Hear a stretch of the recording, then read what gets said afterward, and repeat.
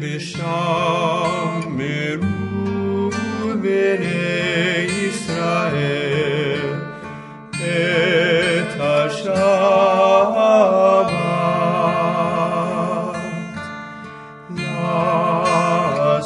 לעשות את השבת לדורותם ברית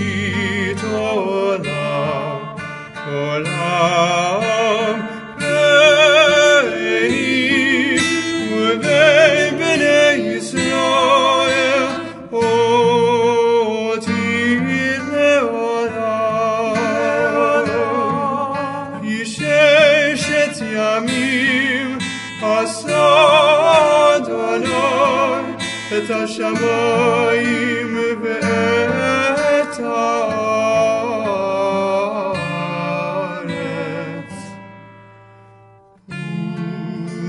וביום השביעי שבת